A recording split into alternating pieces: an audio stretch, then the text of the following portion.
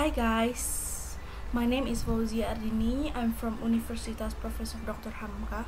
In this video, I will presentation about the grammar translation method, the natural approach, and the direct method and Berlitz method. The grammar translation method. History The grammar translation method in the early 1500s Latin was the most widely studied foreign language due to its importance in government, academic, and business at the time. Students learned Latin for communication. However, during the course of the century, the use of Latin widened and it was gradually replaced by English, French, and Italian. After the decline of Latin, the purpose of learning it in school changed. Whereas previously students had learned Latin for the purpose of communication, Latin came to be learned as a purely academic subject.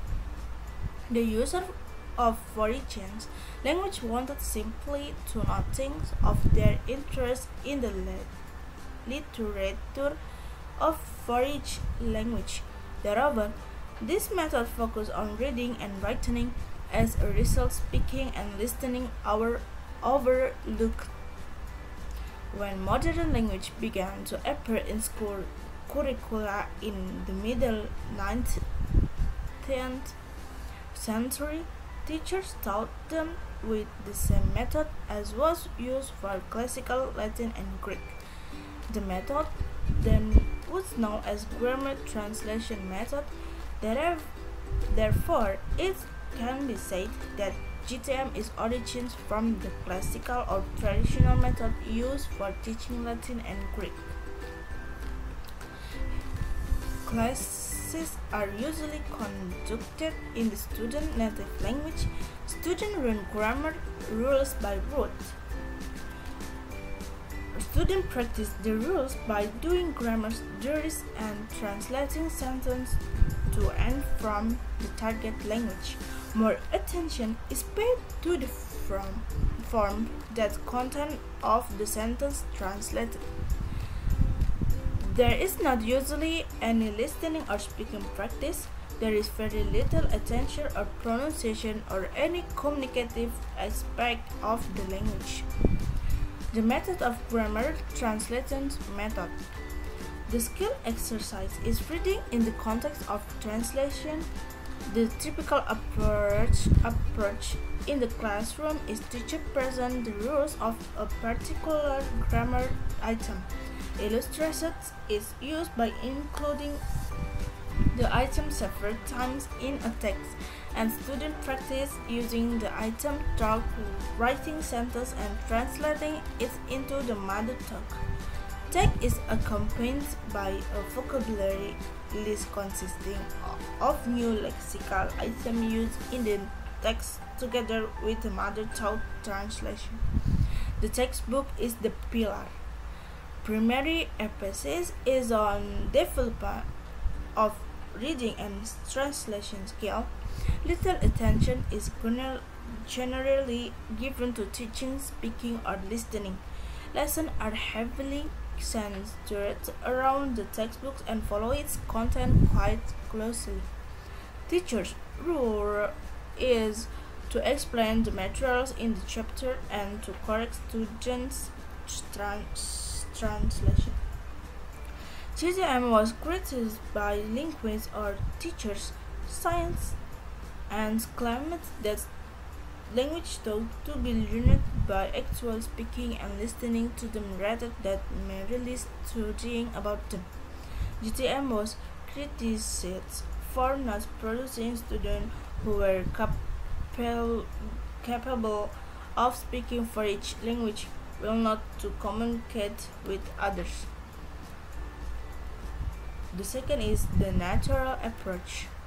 The natural approach was developed by Tracy Terrell and Stephen Krashen. It is based on the language acquisition theory developed by Krashen. The native language should not be used in the classroom. A lot of vocabulary should be exposed.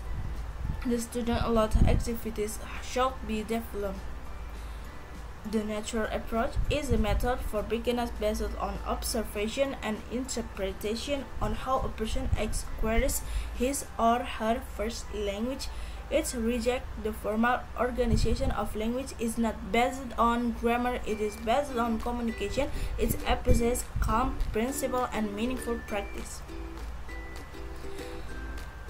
Activities rather than production of grammatical frac sentence. This method appears in 1983 in book called The Natural Approach written by Tracy Turner and Stephen Krasel. The natural approach works based on the use of language in communicative situations without recourse to the native language and without re reference to grammatical analysis. The natural approach is based on the principle of naturalistic language learning. The central component of language is not grammar, it is communication or causation. Unique Asian language is viewed as the feelings for communicating meanings, message, communication.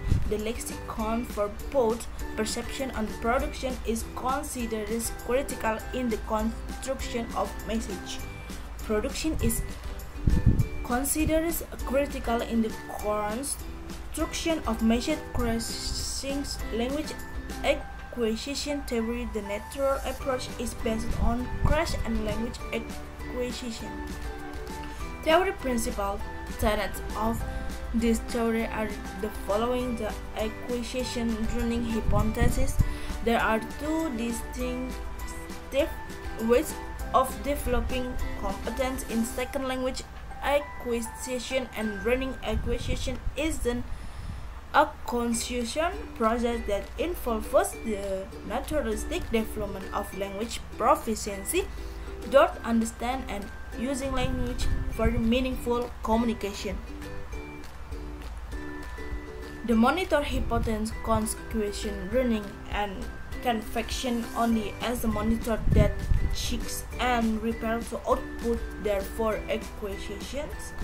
Grammatical structure are acquired before other for each tense of the present tense is acquired before of the past tense. The input hypothesis sleep or wear language based by understanding input that is slightly beyond their current level of competence. The affective filter hypothesis, the emotional state, and the attitude are an adjustable filter that freely passive or blocks input necessary to acquisition the student needs motivation, self-condition, and low action.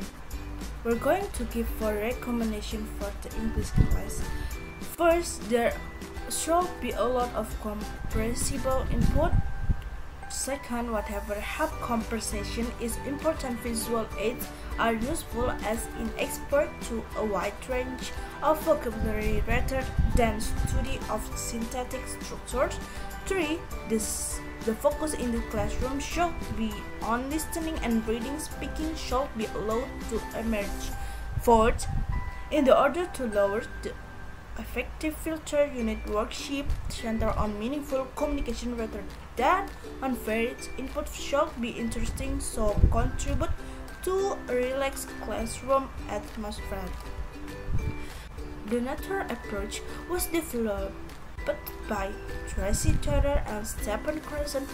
It is based on the language acquisition theory developed by Krashen the native language should not be used in the classroom. A lot of vocabulary should be exposed to the student. A lot of, acti of activities should be developed. We can develop activities with the total physical response method.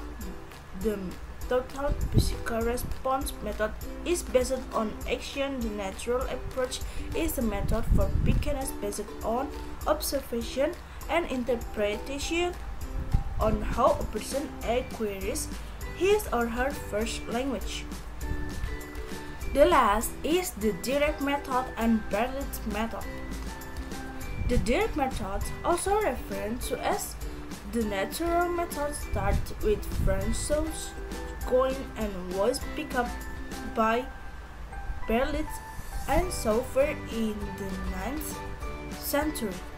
It became very well known in the United States through its use by Sauveur and Maximilian Berlitz's successful commercial language schools.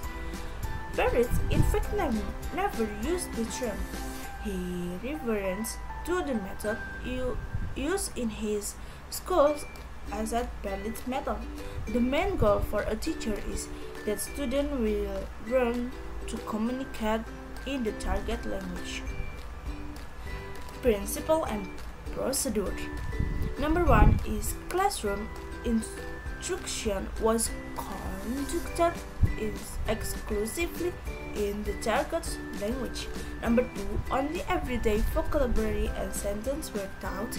Number three, oral communication skills were built up in a carefully graded books reflexive, organized around question and answer exchange between teacher and student in small intensive classes.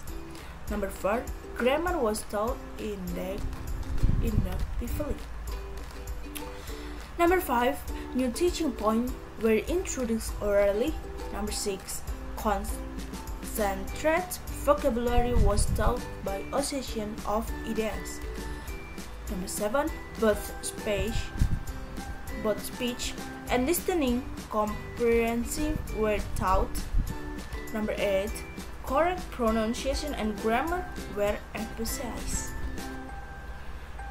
Vocabulary, vocabulary is always emphasized over grammar, but all language skills such as reading, writing, speaking, listening, and pronunciation are worked on.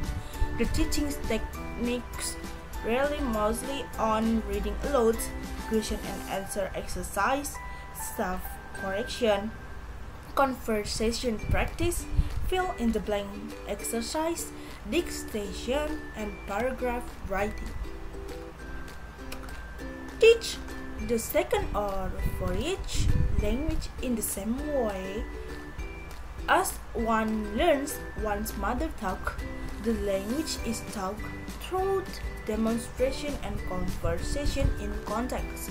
The more academical proponents of the reform movement critiques, criticizes the direct method of pre uh, uh, represented products of English amateurism.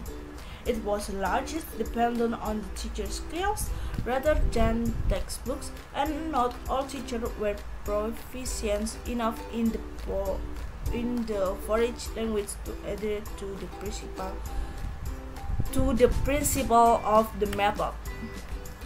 Thank you for watching my video. And assalamualaikum warahmatullahi wabarakatuh.